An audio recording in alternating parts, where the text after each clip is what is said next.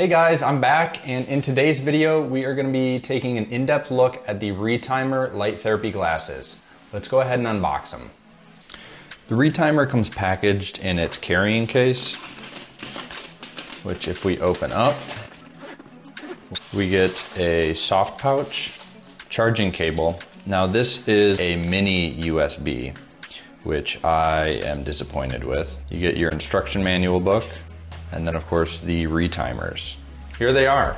Pretty weird looking, very futuristic. Not crazy about them. There are pros and cons, which we'll go over. In order to use the retimer glasses, you just press this button here once for half brightness, once more for full brightness.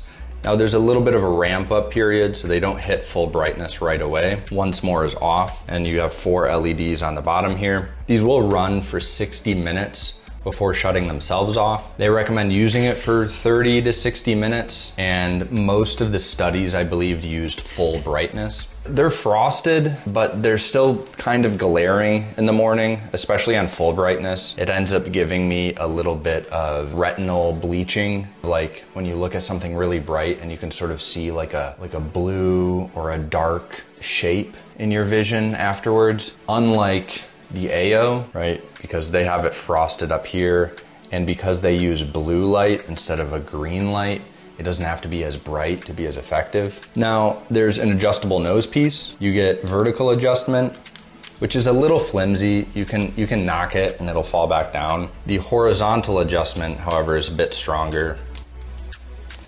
So you can use that to sort of customize where the LEDs are hitting you. Now, as I said in the unboxing, charging is done via mini USB, not even micro USB. Mini USB. I don't know anyone who has mini USB devices anymore, so I don't know why they chose mini USB, but there you have it.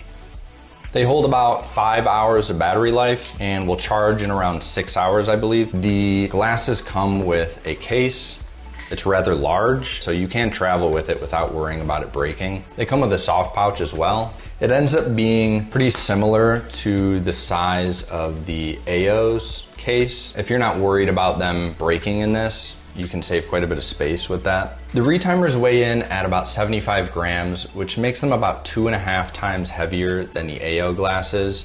And you can tell it's a little front heavy. This is all you got in the back. I found that after about 45 minutes, the weight on the nose get a little bit sore. It's not terrible, but you can kind of feel it when you take them off. I will say I found that it caused my ears to start aching. So I found that I had to kind of do this with it, which is fine. It stays, you know, even walking around, but you're not gonna be able to exercise in these, which like for the AYO, I'm able to just whip my head around.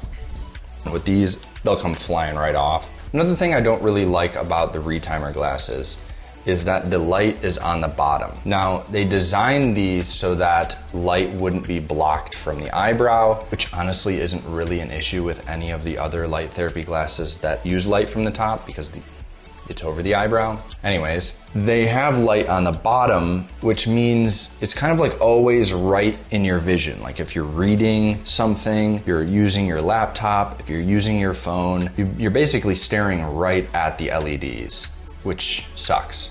So the design of it, we're just not crazy about them. Where these really shine is if you need to use prescription glasses. One of the issues with the AYO glasses is that they sit quite a bit further from your face and most glasses nowadays have a blue reflective coating which can block a little bit of this light. Not a ton, but it also depends on the glasses. Now with the retimer glasses, you don't really have that issue because one, the glasses don't really push them away. You can kind of you know, mess around and get them as close to or as far away from your eyes as you'd like. And because uses a green light, these aren't gonna block any of it. I would definitely consider getting the retimer glasses. They're probably gonna be more effective than these if you need glasses.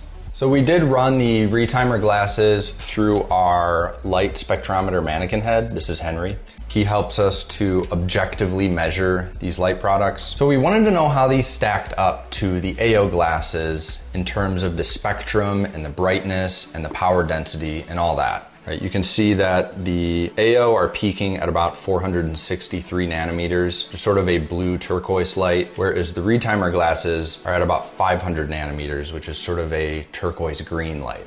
What's interesting is because this is more green, it's hitting that photopic light spectrum more than the blue. So while they're fairly similar in terms of total power output, these are actually about five times brighter. So these are peaking at like 550, 570 lux, whereas these are like 90. The one pro to the retimer glasses is that they've probably done more studies than any other light therapy glasses on the market. So AYO's catching up. They're currently in like 10 clinical trials. But the retimer glasses have, I think, like eight on the website that they link to for things like PTSD, postpartum depression, jet lag, sports performance, all kinds of stuff like that. And they work.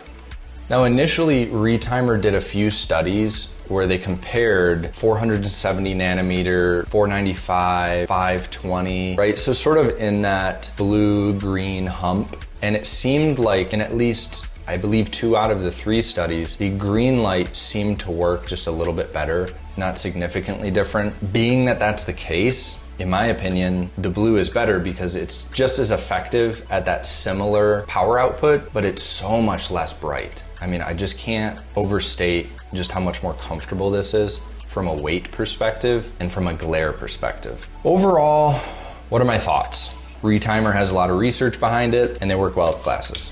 That's my summary.